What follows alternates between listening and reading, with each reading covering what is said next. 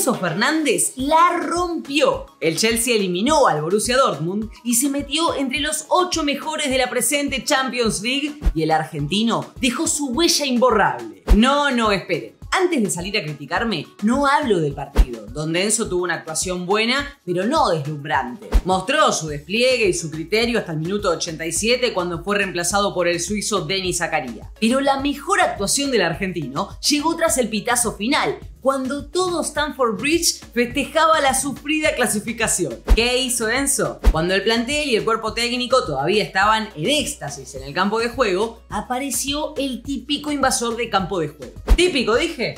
Perdón, mala mía. En este caso fue un pequeñito llorando con su camiseta del Chelsea con el 10 en la espalda y Messi estampado en el dorsal. El pequeñito fan del Chelsea fue llorando hacia donde estaba Enzo Fernández y se quedó con el premio mayor. La número 5 de Enzo toda sudada. Enorme gesto de Enzo, ¿no creen? Hemos visto reacciones muy distintas de otros futbolistas que se sacan de encima a sus fans pero Enzo no dudó en darle la camiseta a este pequeñito. Las tensiones de una serie muy pareja empezaban a ser cosa del pasado. El Chelsea se jugaba mucho en Stamford Bridge. Recordemos que estaba muy lejos de zona de Champions en la Premier League. Y la única chance de clasificar a la Champions del año que viene será ganando la presente edición. Así que el conjunto de Potter, después de dar pena toda la temporada, ahora está a 5 partidos de quedarse por tercera vez con la orejona. Y Enzo sabe una o dos cositas de quedarse con la tercera, si saben de qué les hablo. Pero no la tuvo fácil el Chelsea, que necesitaban en principio remontar el gol de desventaja con el que venían de Alemania. El Dortmund, aparte, viene con una racha impresionante en la Bundesliga y no les iba a hacer las cosas fáciles. Pero el Chelsea atacó todo el primer tiempo y el premio llegó sobre el final de la primera etapa, después de un doble rebote afortunado que le quedó en el punto penal a Sterling que fulminó al arquero rival. A comienzos del segundo tiempo, llegó la definición de la serie con la polémica del partido. No tanto por la mano de Wolf, que pareció indiscutible,